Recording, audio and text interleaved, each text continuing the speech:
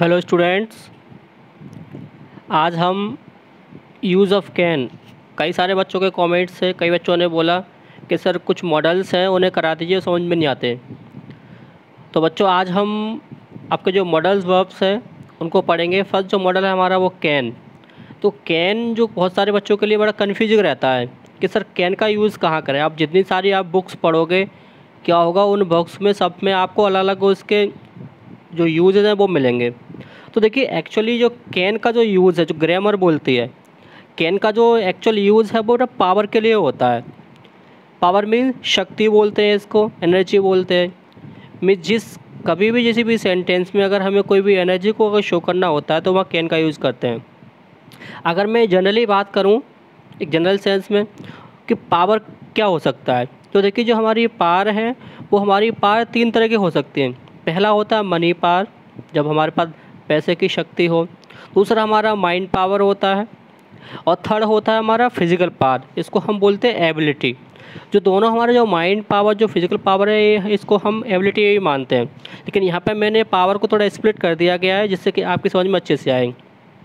तो चलिए करते हैं ज़रा स्टार्ट करते हैं। तो, तो क्या होता है कि जब सिंपल सी बात है जब बात पावर की हो है ना? तो जैसे ये सेंटेंस मैंने लिख रखा है कि ना, कि वह है ना, वह यह बॉक्स उठा सकता है। तो जनरल सी बात है है ना, क्या है कि वो है यह बॉक्स उठा सकता है। तो वो मतलब उसके अंदर फ़िज़िकल पावर होगी। मान लो कोई अगर पेशेंट है, कोई मरीज़ इंसान है, उससे आप कहिए तो क्या वो किसी भी वर्क को कर सकता है? नहीं कर सकता। तो यहाँ बात उसकी हेल्थ की हो रही है फ़िज़िकल पावर की बात हो रही है। तो क्या बोलेंगे? He can lift this box he can lift this box दूसरा सेंटेंस मैंने लिया हुआ है कि है ना, मैं नदी के पार तैर सकता हूँ। सिंपल सा है कि जब इंसान के अंदर एबिलिटी होगी, वो हेल्थी होगा, तभी तो वो स्विमिंग कर पाएगा। तो दूसरा सेंटेंस में क्या लिखा हुआ है कि मैं नदी, है ना, मैं नदी को पार, मैं नदी के पार तैर सकता हूँ या नदी को पार कर सकता हूँ, बात वही है। तो क्या होगा? I can swim across the river अगला सेंटेंस हमने लिया हुआ है है ना, कि वह अंग्रेज़ी सॉरी तुम अंग्रेज़ी बोल सकते हो तो मीन्स क्या है कि आपके अंदर एबिलिटी है। आपके अंदर क्या है? एबिलिटी है। तभी तो आप अंग्रेज़ी बोल पाओगे आप कोई गवाह थोड़ी बोल लेगा यानी आपके अंदर माइंड है, आपने सीखा हुआ है, कोई भी आपने एनर्जी को ग्रेप्स किया है कैसी तभी तो आप बोल पाओगे। तो क्या होगा कि तुम अंग्रेज़ी बोल सकते हो तो यू कैन स्पीक इंग्लिश क्या बनेगा इसका? यू कैन स्पीक इंग्लिश ऐसे अगला सेंटेंस लिखा है मैंने कि वह इस क्वेश्चन को सॉल्व कर सकता है। मीन सब्बल सा कोई क्वेश्चन आपको दे। जो बच्चा कभी स्कूल नहीं गया, आप उसे कोई भी क्वेश्चन दे दो, उसे टू टू नहीं पता। या कोई बच्चा टेंथ में पढ़ता है, उसे पकड़ा दो आप क्लास ट्वेल्थ का क्वेश्चन तो क्या कर पाएगा? वो नहीं कर पाएगा। तो यहाँ बात हो रही है आपकी माइंड पावर की। किसकी बात हो रही है? माइंड पावर की। है ना? तो she can solve this question है ना? I can solve this question I can teach you है ना यू कैन लर्न इंग्लिश तो जहाँ कहीं भी आपकी एबिलिटी की बात हो तो वहाँ भी हम कैन लगाते हैं। आगे दिया है कि हम माउंट आबू पर चढ़ सकते हैं। तो सिंपल सा है, कोई इंसान हेल्थी होगा या उसके अंदर एबिलिटी हुई तो चढ़ पाएगा वो। जिसने ट्रेन जिसने ट्रेनिंग लिया होगा चढ़ने के लिए, वही चढ़ पाता है शख्स माउंटेन पर हम बार तो जाएँगे तो चढ़ भी नहीं पाएँगे देख कर भाग आएँगे। तो मीन्स क्या है कि उसके अंदर एबिलिटी है फ़िज़िकल पावर है फ़िज़िकल स्ट्रेंथ है तो वही शख्स माउंटेन पर चढ़ सकता है। तो क्या होगा कि we can climb Mount Abu ना we can climb Mount Abu ऐसे ही राधा नया खरीद खरीद सकती है। तो सिंपल सा है भाई, अब कोई भिखारी थोड़ी नया घर खरीद पाएगा? यानी जिस संसार के अंदर मनी है मनी की पावर है, गर्मी है, वही तो खरीद सकता है। तो क्या होगा कि Radha can buy a new house Radha can buy a new house ये हो गया। अब क्या होता है कि इसके अलावा एक कैन का एक और होता है यूज़ आपको बहुत सारी बुक्स में मिल जाएगा आज ट्रेंड में चल रहा है कि कैन का यूज़ परमिशन के लिए होता है। जब किसी को परमिशन देना हो या लेना हो तो कैन का यूज़ कर सकते हैं। लेकिन मैं इससे पहले बताना चाहूँगा कि ये परमिशन का यूज़ वैसे हम के लिए सॉरी परमिशन के लिए करते हैं मे का यूज़ तो मे का जो यूज़ है परमिशन से फार बेटर वो कहीं ज़्यादा अच्छा है। तो मैं आप लोगों के लिए यही एडवाइस दूँगा कि जब कभी भी आप बात करो परमिशन के तो परमिशन के लिए आप मे का यूज़ करें कैन का ना करें। लेकिन कैन का यूज़ करना गलत नहीं है। लेकिन थोड़ा क्या है कि इससे मच बेटर है आपका मे का यूज़ यस और नो तो कैन का यूज़ परमिशन के लिए आजकल हो रहा है। परमिशन देना हो परमिशन लेना हो तो हम यूज़ करते हैं। सिंपल सा, तुम जा सकते हो तो यू कैन गो नाउ तुम यहाँ बैठ सकते हो तो यू कैन सिट हीयर लिख रखा है मैंने। क्या मैं तुम्हारी डायरी देख सकता हूँ? तो can I see your diary क्या मैं तुम्हारे कमरे में आ सकता हूँ? तो can I come in your room क्या मैं तुम्हारे पास बैठ सकता हूँ? तो can I sit with you है ना? तो परमिशन लेने के लिए और देने के लिए हम कैन का यूज़ करते हैं। लेकिन वैसे मैं आपको पहले भी कहा एडवाइस दूँगा कि अगर परमिशन की बात हो तो आप यूज़ करें मेका किसका यूज़ करें आप? मेका यूज़ करें, क्योंकि कैन का जो यूज़ है, उससे कहीं बेटर माना गया है मेका लेकिन आजकल चल रहा है, अगर आप कैन का यूज़ करते हो तो भी गलत नहीं है।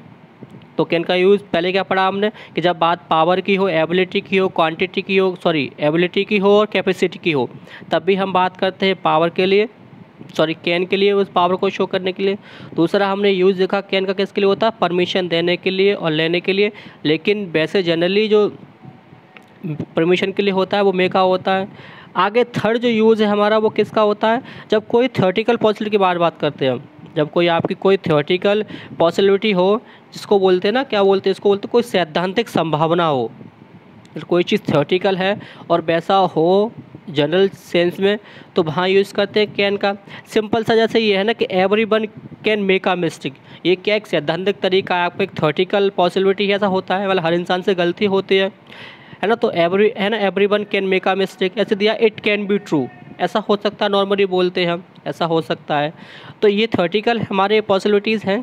तो इनके लिए भी हम कैन का यूज़ करते हैं। आगे दिया है ना इलेक्ट्रिसिटी कैन बी डेंजरस तो सिंपल सा है थर्टिकल एक आपके एक सैद्धांतिक चीज़ है। ये एक फैक्चुअल आपकी थिंग है है ना, कि electricity can be dangerous electricity simple सा हार्म कर सकती है। तो ये थियोटिकल पॉसिबिलिटी के भी हम कैन का यूज़ करते हैं। तो जनरली यही कैन के आपको यूज़ मिलते हैं। इस तरीके से पहला यूज़ बात पावर की थी। पावर में आपका mind power money power physical power के बारे में बात करें, या बात एबिलिटी आपको फ़िज़िकल पावर में आता है आपकी कैपेसिटी हो, है ना, इस टाइप से। मान लो इस क्लास में बीस बच्चे बैठ सकते हैं तो क्लास की कैपेसिटी है। है ना? तो ट्वेंटी स्टूडेंट्स है ना students can sit in this class yes sir no तो जहाँ पर कैपेसिटी के लिए भी हम कैन का यूज़ करते हैं। ऐसे ही दूसरा मैंने बताया था परमिशन देने लेने के लिए, लेकिन मैं आपको सारा एडवाइस दूँगा कि आप मेका यूज़ करें, कि मेका यूज़ से कहीं ज़्यादा बेटर माना गया है, लेकिन हम कैन का भी यूज़ परमिशन के लिए कर सकते हैं, है ना? ये भी गलत नहीं है। और थर्ड हमारा क्या था? कैन का यूज़ था वो किसके लिए था? वो थर्टिकल पॉसिबिलिटीज़ की था। जब बात किसकी हो गई थर्टिकल या कोई संभावना हो, सैद्धांतिक, उसके लिए हम कैन का यूज़ करते हैं, जैसे every one can make a mistake हर इंसान से गलती हो सकती है, हर इंसान गलती कर सकता है इट कैन बी ट्रू है ना? ये सत्य हो सकता है, सच हो सकता है।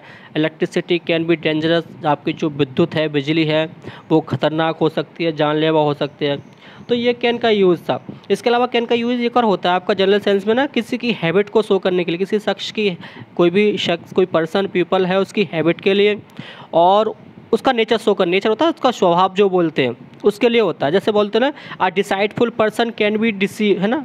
Deceivers a deceitful person can be deceivers या लोग बोलते हैं ऑनेस्ट मैन कैन नॉट है ना can not harm any one तो ये नेचर है। मतलब कोई अगर कोई इंसान अगर सत्य है, कोई ऑनेस्ट पर्सन है तो वो शायद ही किसी को हार्म करो, वो किसी को हार्म नहीं कर सकता, है ना? बोलता है general person a honest person can not cheat with you या कैन नॉट हार्म यू यानी कोई भी अगर इंसान सत्य है, अगर वो अच्छा इंसान है तो वो कभी भी नहीं चाहेगा कि कोई उसकी वजह से दुखी हो। तो ये जनरल हमारे कैन के यूज़ से आई होप आपको कैन का यूज़ समझ में आ गया होगा। तो प्लीज़ लास्ट में आपसे यही कहूँगा कि please subscribe the channel like और वीडियो करते रहे इस तरीके से। मैं आपको जो भी आप टॉपिक चाहते हो, उन पर मैं वीडियोज़ डालता रहूँगा। और मैं अपने तो पूरी कोशिश कर रहा हूँ कि आपकी, आपको है ना, अपना बेस्ट दे सकूँ। तो फिर तब मिलते हैं आपसे नेक्स्ट वीडियो में। तब तक के लिए टेक केयर बाय और प्लीज़ सब्सक्राइब द चैनल और लाइक और शेयर करना ना भूलें। और जो प्लीज़ जो आइकन की जो वेल है, उसको दबा दें, जिससे कि आपको जो जब वीडियो में अपलोड करूँ तो आप पे जो नोटिफिकेशन है, वो आ जाए। Thank you